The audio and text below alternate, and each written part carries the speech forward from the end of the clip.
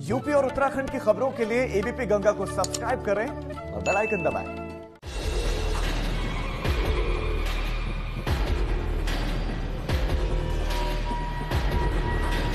क्या हाथरस में दंगा भड़काने की साजिश थी?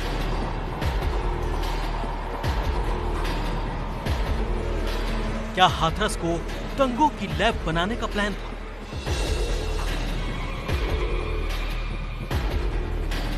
क्या जाति के नाम पर नफरत फैलाने की साजिश थी?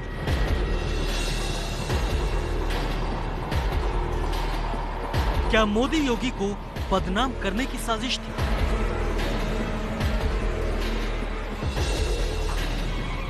हाथरस के नाम पर यूपी को जलाने की साजिश थी?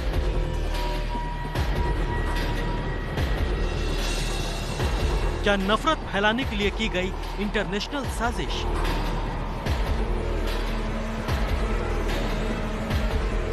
नफरत की आग लगाने के लिए कौन कर रहा था फंडिंग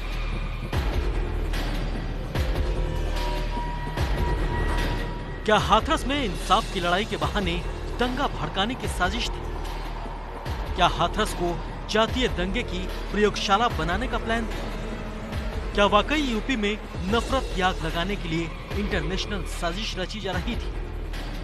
क्योंकि हाथरस पर यूपी सरकार ने किया है अब तक का सबसे बड़ा दावा।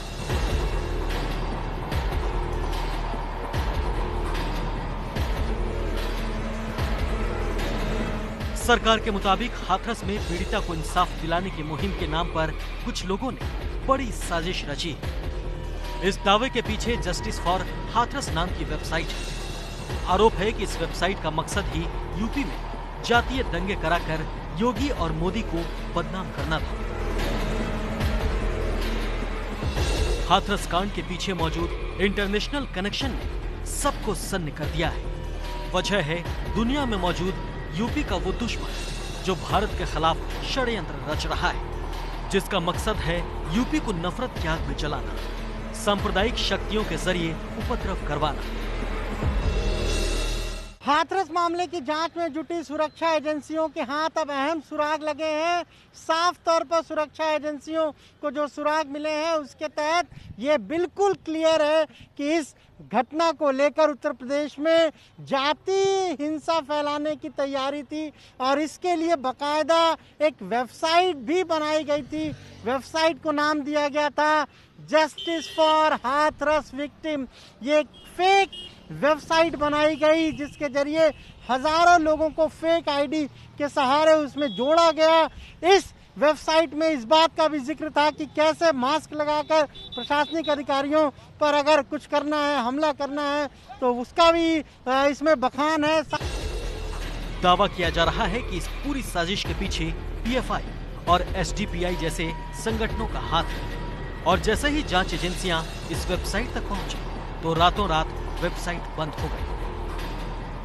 यूपी सरकार का दावा है कि नागरिकता संशोधन एक्ट के विरोध में जिस प्रकार से प्रदेश में जगह जगह हिंसा की गई थी, उसकी तरह ही हाथरस के मसले के बाद प्रदेश में ऐसी परिस्थिति पैदा करने की साजिश रची गई है। इसके लिए बाकायदा डिजिटल प्लेटफॉर्म, सोशल मीडिया आदि का सहारा लिया जा रहा है।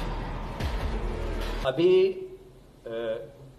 जो चीज़ें आ रही हैं, जैसा मैंने आपको बताया कि एक बहुत, एक षड्यंत्र की इसमें साजिश है और जिसके बारे में विवेचना शुरू हो गई है और कुछ गिरफ्तारियाँ भी आगे इस संबंध में की जाएगी। बताया कि ये सब विवेचना का प्रश्न है। जब जैसे जैसे चीज़ें इसमें परत दर परत खुलती जाएँगी, आप सभी को अवगत कराया जाएगा। हम जो भी साक्ष्य मिल रहे हैं, उसके उस पर कार्रवाई कर रहे हैं। मैंने अपने प्रेस कॉन्फ्रेंस में काफ़ी चीज़ें आपको बता दी हैं और इसके संबंध में यह प्रेस रिलीज़ जारी आपको हम कर देंगे।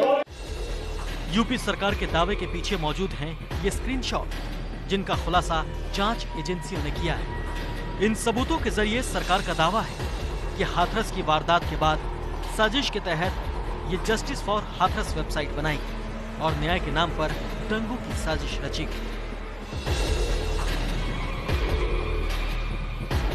इसमें साफ़ दिखाई दे रहा है, इंसाफ के नाम पर दिल्ली, कोलकाता और अहमदाबाद में प्रदर्शन के लिए लोगों को इकट्ठा करने की अपील की गई। प्रदर्शन के दौरान क्या करना है और क्या नहीं, इसके लिए बाकायदा निर्देश भी दिए गए हैं।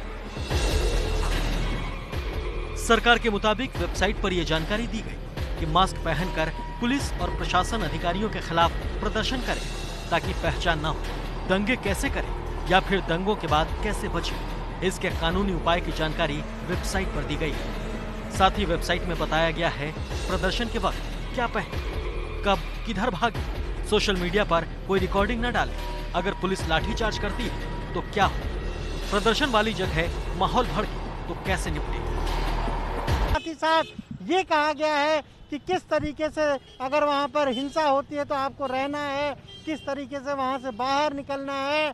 हाथरस की घटना को लेकर जिस तरीके से सुरक्षा एजेंसियाँ जाँच कर रही हैं, हर दिन कोई न कोई अहम सुराग उनके हाथ लग रहा है। साफ़ तौर पर अब तक की जाँच में ये सामने आया है कि कुछ इस्लामिक देशों से कई संगठनों ने फंडिंग की ताकि इस पूरे मामले को लेकर यूपी में और पूरे देश में जाति दंगे फैले। इसके पीछे अब ये तर्क सरकार और सरकार के मंत्री दे रहे हैं कि जैसे सीए एनआरसी का विरोध हुआ और सरकार ने कड़ी कार्रवाई की, वही लोग इसके पीछे भी हैं। सरकार का दावा है कि इस तरह की वेबसाइट का मकसद सीएम, पीएम और सरकार की छवि को खराब करना है। यही वजह है कि वेबसाइट पर फर्जी आईडी के ज़रिए लोगों को जोड़ा गया है।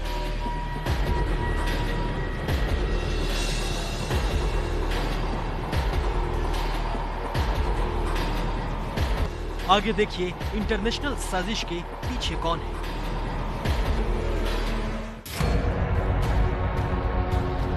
सरकार का दावा है कि साजिश के पीछे वही लोग मौजूद हैं, जिन्होंने नागरिकता कानून के विरोध में प्रदेश को जलाया था, प्रदर्शन की आड़ में कहर बरपाया था और सरकारी संपत्ति को नुकसान पहुँचाया था। इस बार यूपी को हाथरस के ज़रिए जलाने की साजिश रची गई थी। और दंगे की इस वेबसाइट के तार बदनाम संगठन एमनेस्टी इंटरनेशनल से जुड़े पाए जा रहे हैं। दावा है कि इस्लामिक देशों से इस वेबसाइट की मुहिम को चलाने के लिए फंडिंग हुई, जिसका खुलासा हुआ है एजेंसियों की जाँच में।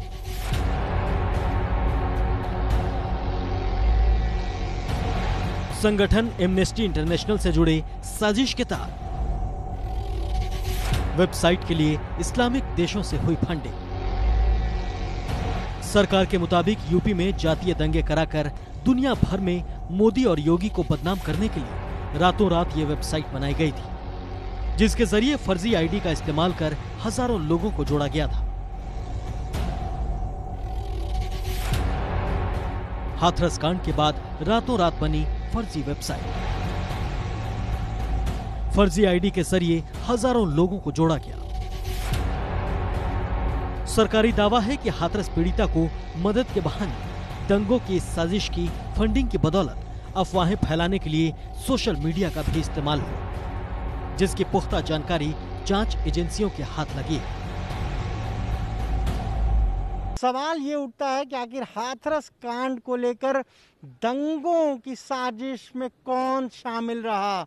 सरकारी सूत्रों की माने तो जो वेबसाइट बनाई गई, उसमें एमनेस्टी इंटरनेशनल के भी शामिल होने के जो सबूत हैं, वो जाँच एजेंसियों को मिले हैं। साफ़ तौर पर अगर कहें तो जाँच एजेंसियों को इस बात के पुख्ता सबूत हाथ लगे हैं कि एमनिस्टी इंटरनेशनल के सहयोग से जो वेबसाइट थी, हाथरस कांड को लेकर जो फंडिंग के लिए वेबसाइट बनाई गई थी, उसके पीछे एमनेस्टी इंटरनेशनल है।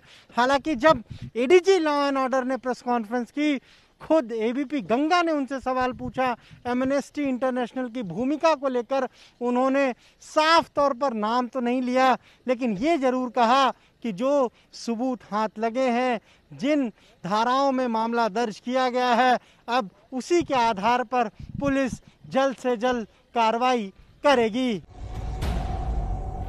सरकारी दावों के मुताबिक सीएए उपद्रव के दौरान हिंसा में शामिल रहे पीएफआई और एसडीपीआई जैसे संगठनों ने वेबसाइट तैयार कराने में अहम भूमिका निभाई है। दावा है कि सीएए हिंसा में शामिल उपद्रवियों और राष्ट्र विरोधी तत्वों ने योगी से बदला लेने के लिए बनाई दंगे की इस वेबसाइट को खड़ा किया। लेकिन वक्त रहते सरकार ने इस साजिश को नाकाम कर दिया। आपने आज समाचार पत्रों में पढ़ा होगा और न्यूज़ चैनल में आप देख रहे होंगे सुबह से ही।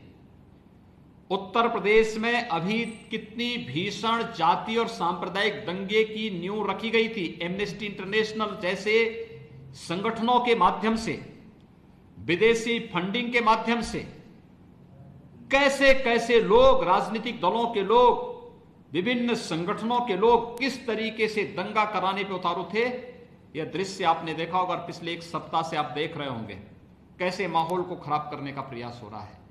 ये षड्यंत्र होते रहेंगे, लेकिन हमें आगे बढ़ना है। हाथरस की घटना को तूल देकर देश भर में आपसी नफरत फैलाने की साजिश हुई, कोशिश हुई।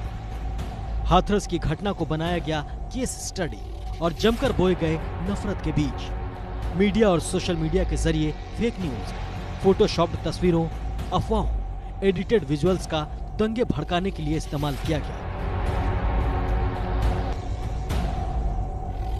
योगी सरकार को बदनाम करने और प्रदेश में अराजकता के लिए वेबसाइट को इस्लामिक देशों से भरपूर फंडिंग मिली। अमेरिका में हुए दंगों की तर्ज पर ही थी यूपी की वारदात के ज़रिए देश भर में माहौल बिगाड़ने की कोशिश। देश भर में जातीय दंगे कराने की तैयारी थी। जिन्होंने एक फर्जी वेबसाइट बनाई और उसके ज़रिए फंडिंग की गई, जब जाँच एजेंसियों को ये जानकारी मिली, रातों रात उस वेबसाइट को बंद कर दिया गया और अब पूरे मामले की जाँच के लिए हाथरस के चंदपा थाने में 20 से ज़्यादा मुकदमे दर्ज किए गए हैं। कैमरा से पंकज निगम के साथ अनुभव शुक्ला आई गंगा, लखनऊ।